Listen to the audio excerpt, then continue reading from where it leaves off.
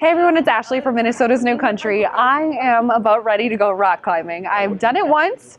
That was back in sixth grade at our Deep Portage trip from Sauk Rapids Middle School. Yes, so here we go.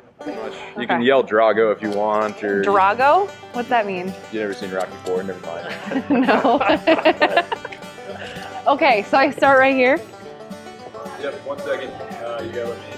Oh, Belay so I don't die. Yeah. All right. It might make a good video if I get hurt.